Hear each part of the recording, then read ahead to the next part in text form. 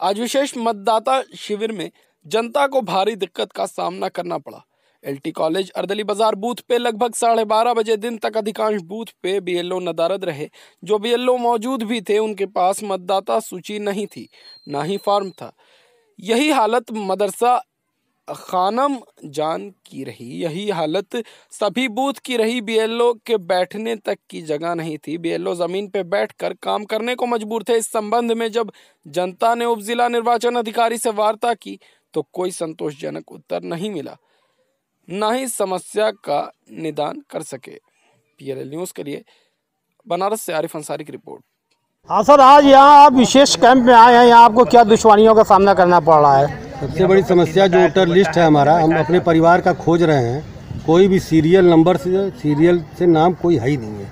न मकान number serial से है, न नाम सीरियल से है। और हमको बढ़वाना है यहाँ पे नाम तो फार्म भी उपलब्ध नहीं है। तो वैसे में हम लोग क्या करें? हम परेशान हैं, तब से खोज रहे हैं, डेढ़ घंटे से बैठ के। बी एल आए हैं बी को न बैठने का जगह है, न मेज है, न उनके पास कुछ वो सब इधर उधर घूम के खड़ी हैं। तो इसमें आप किसका दोष मानते हैं?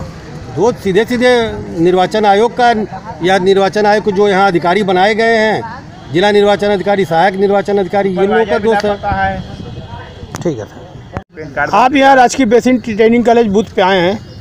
आपको क्या समस्या का सामना करना पड़ रहा है? मैं यहाँ पर मेरा आपका नाम? तारिक खान है। मैं यहाँ पर आया हूँ अपने घर के तीन लोगों का नाम नहीं है इसमें वोटर लिस्ट में।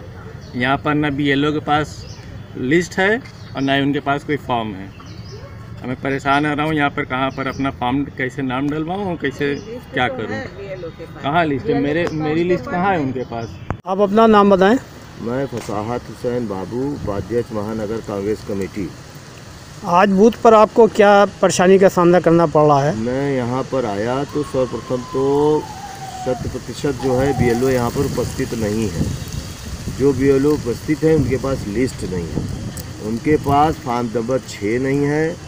संशोधन फार्म नहीं है और इन बी को यहाँ पर संबंधित बूथ पे बैठने की कोई व्यवस्था नहीं है।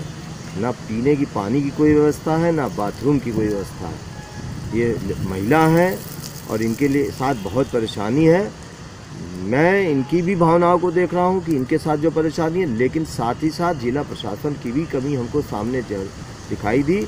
जो दो दिन से चार दिन से लगातार पेपर में बयानबाजी करके सोशल मीडिया पर बयानबाजी करके इस चीज़ को दिखलाना चाहिए कि हम वोटर लिस्ट में नाम जुड़वाने के लिए संशोधन कराने के लिए बहुत व्यक्तिगत तौर पर बहुत ज़्यादा एक्टिव है प्रशासन लेकिन ऐसा कुछ नहीं है। यहाँ पे आने पर शून्य का ही बराबर मामला मानिए। इस तो संबंध में आपने क्या आपने इस तरह से कोई प्रयास मैंने किया? संबंधित जिला उप जिला निर्वाचन अधिकारी महोदय से बात की। उन्होंने ये बताया कि संभवतः कुछ लोगों बी की ड्यूटी जो है, वो फाइलेरिया उसमें लगाई गई है।